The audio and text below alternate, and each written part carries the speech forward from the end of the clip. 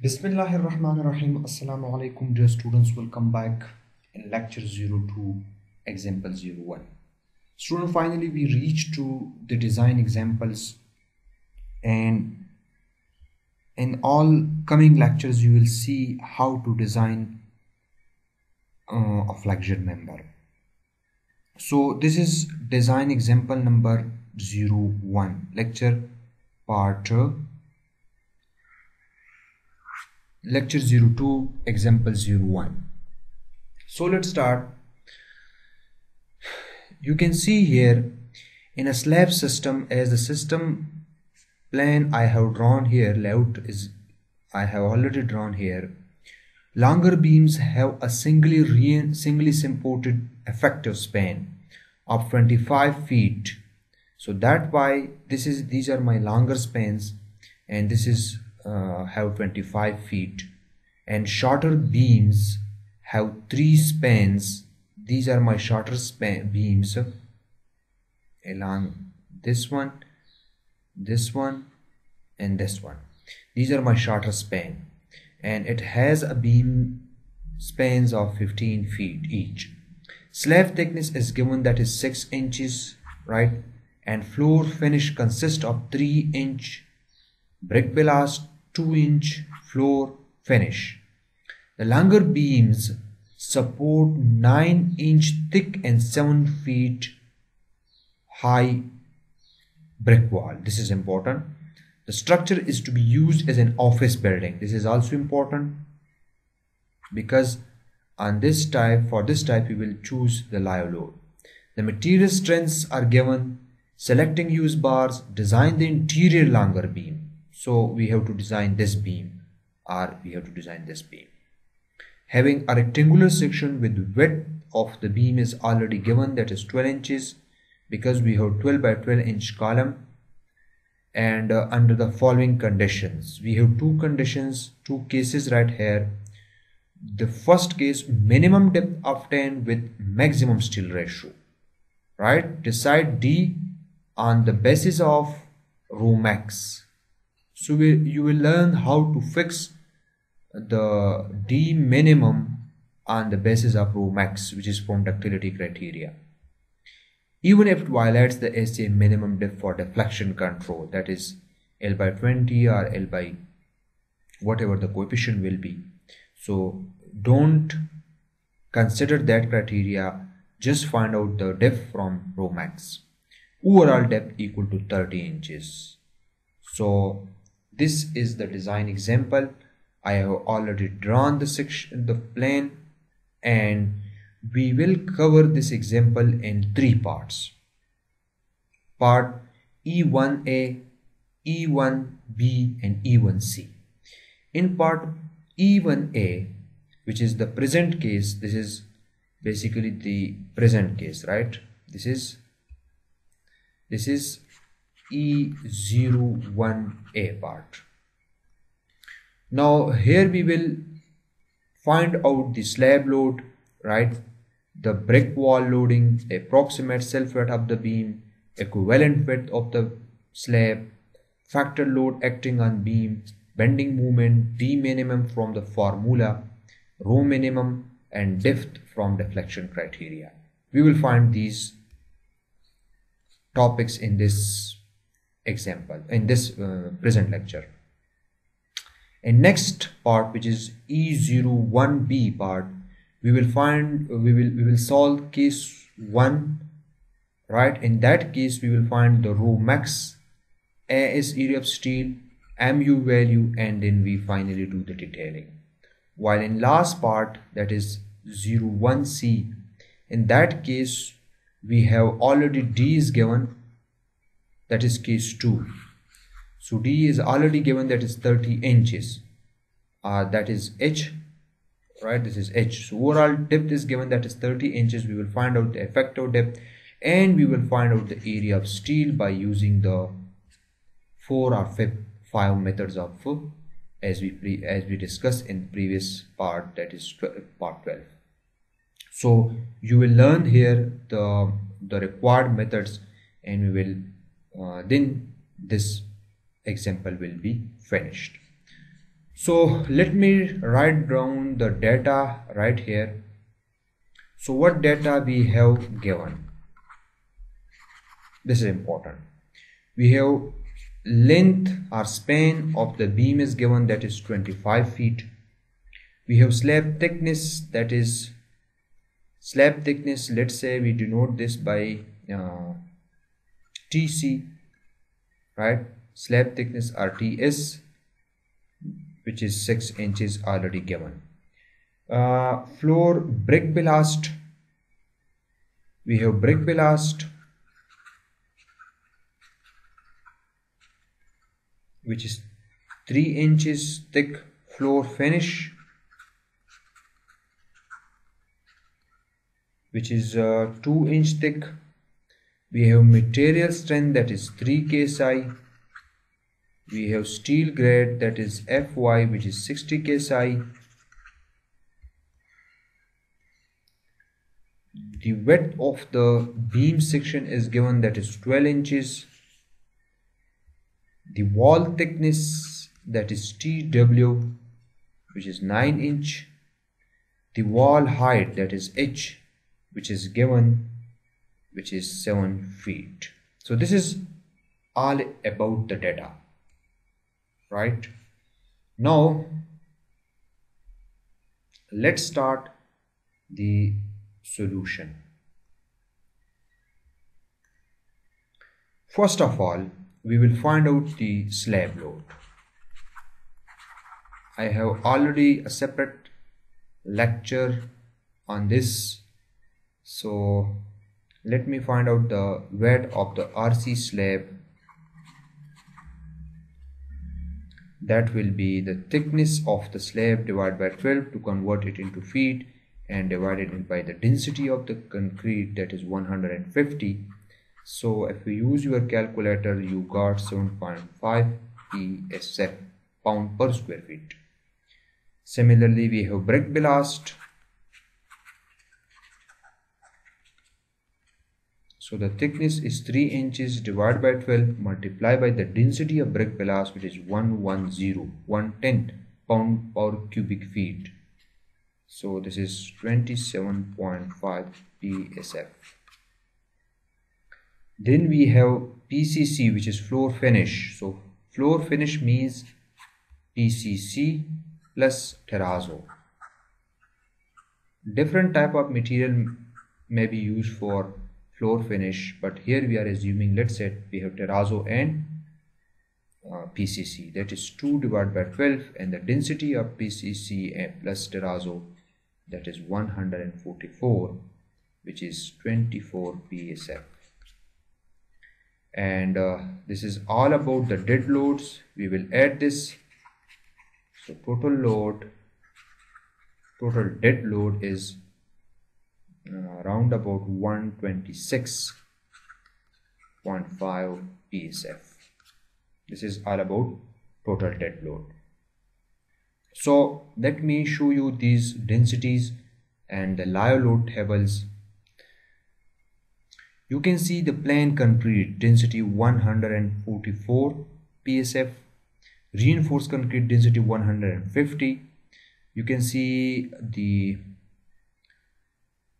all the loads uh, you can see the density of brick ballast which is which is which may be taken from 100 to 110 the live load table. So we have an office building. So for for office building we can choose the live load from 50 to 85 pounds per square feet. So here we will select or choose 50 psf so this is all about live loading. So let me write down here my live load will be 50 psf right? This is all about live loading. Now uh, so total we will find out total factored load. Total factored load.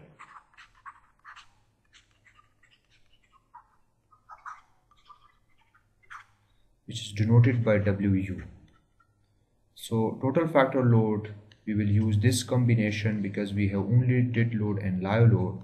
So this one will be the governing combo. We can also use WU equals to 1.4 dead load and we will choose the maximum one. So this time this will give us a lower value than this one. So that one that will be the final combination. 1.4 times dead load which is 126.5 plus 1.6 times the live load which is 50 psf and uh, we will convert this into kip so divide this by 1000 so finally we have 0.232 ksf per square feet. So this is my ultimate slab load per square feet. Remember this is only the slab load now we will find out the brick wall load. So brick wall load which is brick is directly supported by the beam right? Brick let me draw the figure. We have 25 feet span and the wall is directly supported by the by the beam. So that why will be look like in this shape. So the thickness is thickness TW is 9 inch and the height of the wall is 7 feet. So per running feet load of the wall we have already discussed this. So service dead load service dead load of the wall is the the brick the brick density is 120 psf uh, pcf pound per cubic feet right? The thickness of wall divided by 12 times the height of the wall times 1 divided by 1000 to convert it into kips and we don't multiply 25 because we don't want to uh, to take the the total load of the wall. We just want to convert the load into kip per running feet. So from this we will get 0.63 kip per running feet right? Now we will factor this load. So factored wall load. So factored wall load, let me write down this WU wall. So we will multiply it as this is a dead load, right? This is not live load, so that way we multiply it with 0 0.63 and from this we got so if you use your calculator you will got 0.756 kip per running feet. If you want to find the total total factored wall load. So we will multiply this 0.756 with 25 so the span is 25 that why I got here 18 so from this we got the value 18.9 kip total load. This is total load of wall but we don't need this load. We need this load. This is our requirement. This is the load of the wall and let me find out the load of the beam. Right. Here we can write approximate approximate self weight of beam. Right approximate self weight of beam now service did load a beam. The beam weight will be multiplied by the density of beam times weight divided by 12 times h divided by 12 right it will be divided by 1000 to convert it into kips so the density of the concrete in US customary units it is 150 we know this. The width of the section is already given that is if it is not given so it can be assumed from L by 15 to L by 20 most of the time we assume this L by uh, B is most of the time B is L by 18 and depth that is H for most of the com common beam it is taken as L by 12 so that why here I'm using L by 12 right? Here I'm using L by 12 so that's why uh, L is 25 feet so that by L by 25 feet and 1 divided by 1000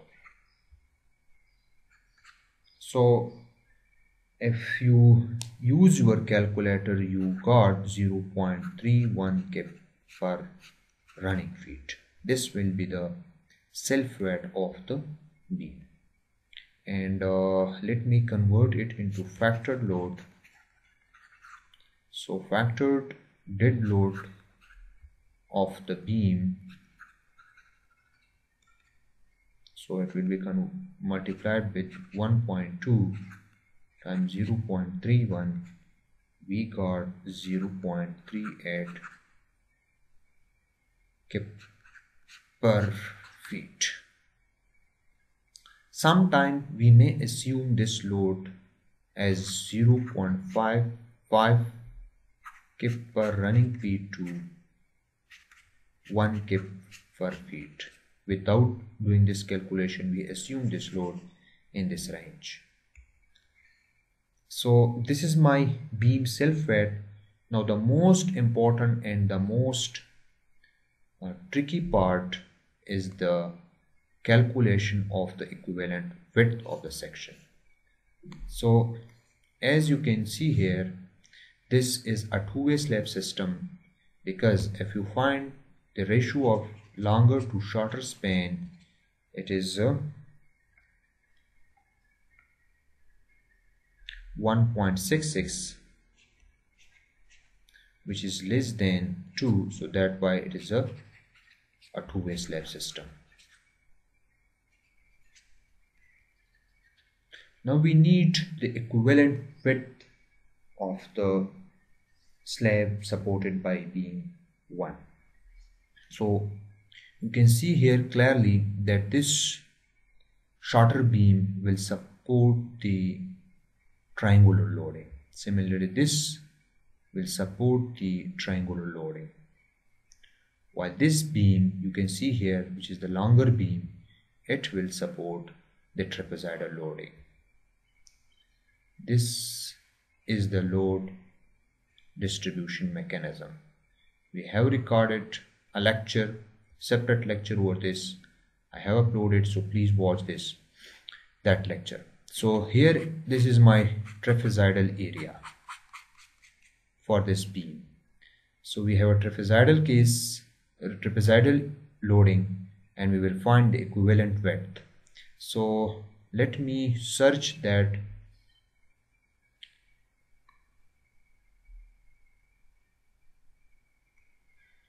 so here you can see here this is my B3 beam.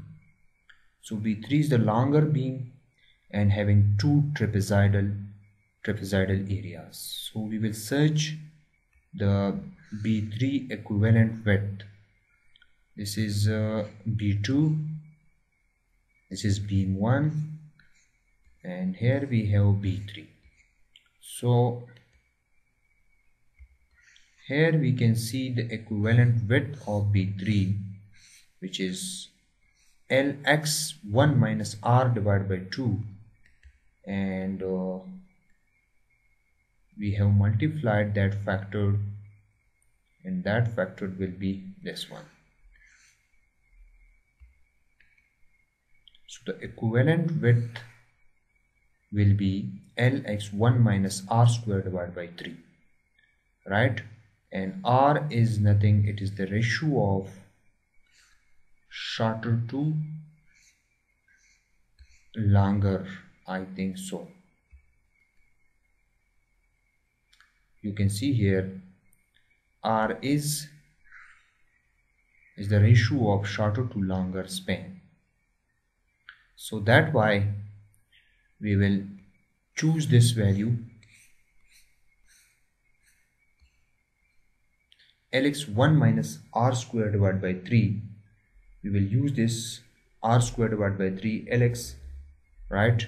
And the r value will be lx divided by if is let me do this calculation on a new page. Now we have next step is equivalent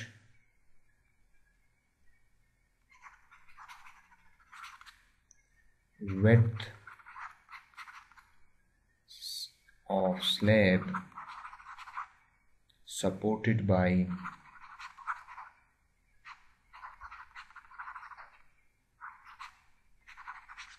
by B1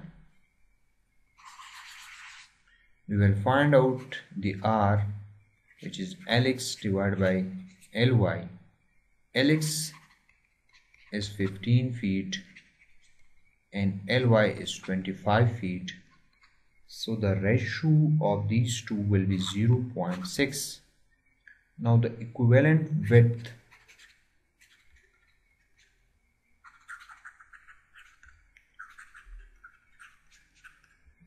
Equivalent width of the slab will be lx into 1 minus r square divided by 3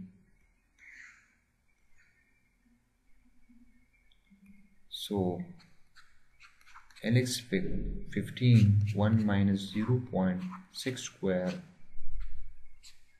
divided by 3 what we got here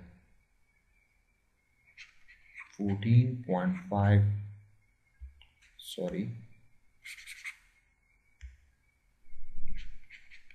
14 point uh, you must remember this point. I have for, forgot this point.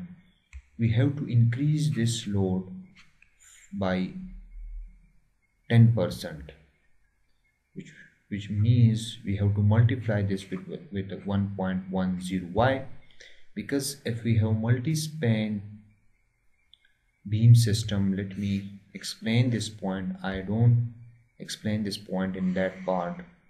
So let's say if we have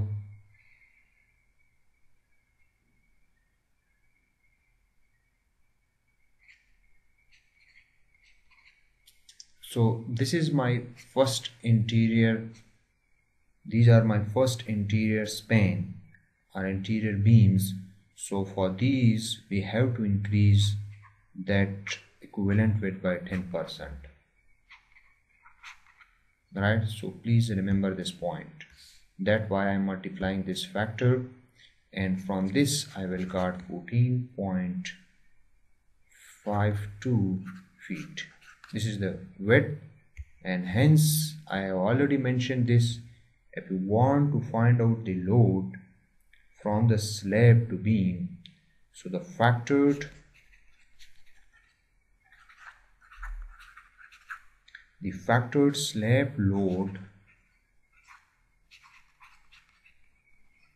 acting on beam will be that equivalent width times the slab load per unit length.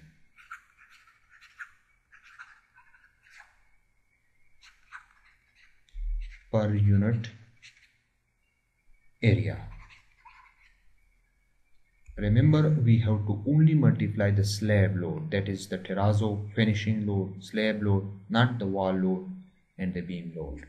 So the equivalent area is 14.52 and the slab load is 0.232 we have already calculated this so that why my final loading on the beam will be kip per feet 3.37 kip per feet which is the load transfer from slab to beam remember. It doesn't include the wall the, the weight of the the loading of the wall and the loading of the beam right? We have to include this. So my final loading wu will be this loading which is coming from the slab to beam plus the wall loading which is 0.75 or 0.676 round this plus the weight of the beam which we have already calculated. And this is my final load which is kip per feet. This is my final loading which is acting over the beam so we have simply supported beam. And the final loading is 4.51 kip per running feet. So this is the simply supported case. The bending moment diagram will be will be in this shape. Right and the maximum bending moment will be at the middle span and uh, it will be mu max wu l square divided by 8 so from this equation wu l square divided by 12 so if we plug the value 4.51 times 25 square divided by 8 we got 352.4 kip feet. This is the final moment. And um, we will find out the minimum depth of the beam that is d minimum. So by using our derived equation the minimum depth mu divided by 0.205 fc prime into b so we know about mu that is 352.4 it will be converted into into pound which is multiplied by 1000 and it will be converted into inches which is multiplied by 12 because this is kip feet so that way we convert this into pound inches. Because the lower dimensions are inches. So that's why we convert this into pound inches. Here fc prime 3000 psi and b is 12 inches. We can use only 352.4 divide by we convert this into feet. And we will take this in kip KSF. So this is difficult. So that's why we convert the moment into pounds inch. From this we got the minimum depth or D minimum. This is important. This is it comes out to be 24 inches. This is important and make sure you have to remember this value that D minimum will be this one. If we find out the this D from deflection criteria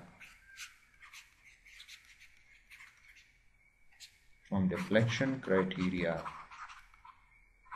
So we, as we have we have already discussed the table.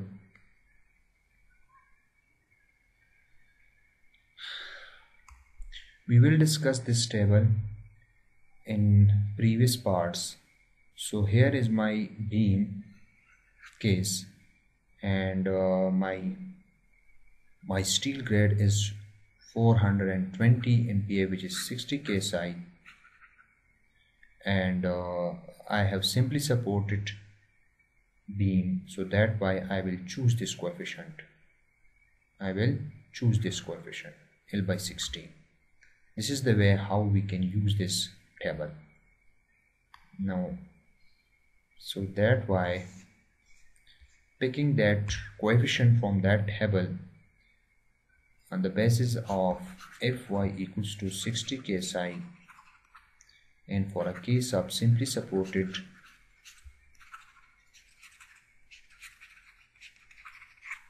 beam the coefficient r h minimum will be L by 16 multiply by 12 to convert feet into inches so 25 times 12 divided by 16 we got here minimum depth of the beam will be 19 inches. So this is all about deflection criteria. This step is from deflection criteria. So here we covered all the topics right and uh, let me check the topics so we covered slab load brick load approximate self-weight, equivalent weight, factor loading on acting on the beam, bending moment, D minimum, and the only thing is that is that is left is the rho minimum. So rho minimum can be easily calculated by using the 3 fc prime divided by fy. So 3000 divided by 60,000 are 200 divided by 60,000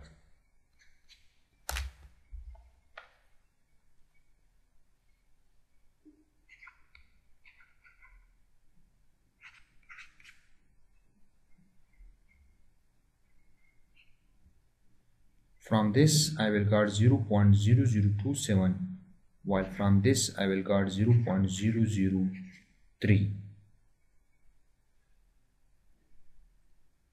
yes 0 0.00